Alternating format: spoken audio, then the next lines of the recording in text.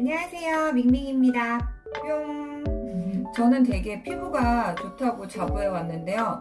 요즘에 턱에 모낭염으로 인한 흉터와 그리고 이제 좀 고르지 않는 피부톤 때문에 요즘에 고민이 많아졌어요. 피부과 가서 관리받고 싶지만 시간도 부족하고 돈도 부족해서 항상 자기 전에 셀프 케어에 신경을 쓰고 있습니다. 그러면 오늘은 제가 자기 전에 하는 나이트 피부관리법을 소개해 드릴게요 저만의 나이트 피부관리법 그 첫 번째는요 1일 1팩은 어렵지만 일주일에 1 마스크팩은 꼭 하려고 노력을 하고요.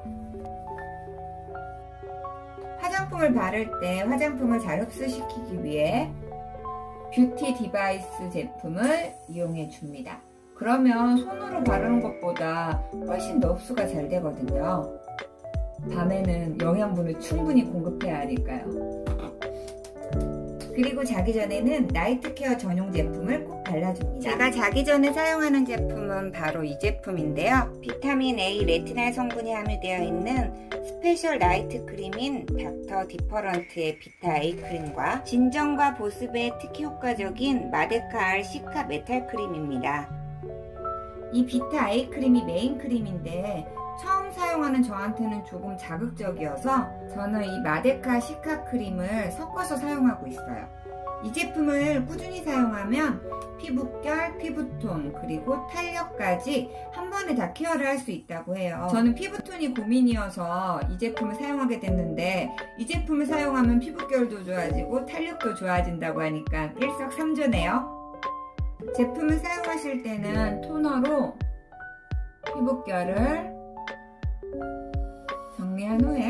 비타 아이 크림을 완두콩 정도 이 정도 이 정도 짜주시고요. 그리고 마데카 시카 크림을 짜서 섞어서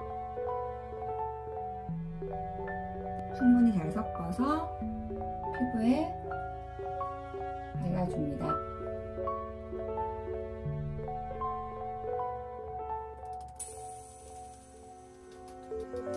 이 제품은 아까 말씀드렸듯이 성분 자체에 약간 자극감이 있어서 민감한 피부의 경우 적응 단계가 필요해요. 그래서 초반에는 비타 A 크림에 마데카 시카 크림을 섞어서 사용하고 피부가 적응이 되면 비타 A 크림을 단독으로 사용해 주시면 됩니다. 전 아직 적응을 못했는지 섞어서 바르는 게 좋더라고요.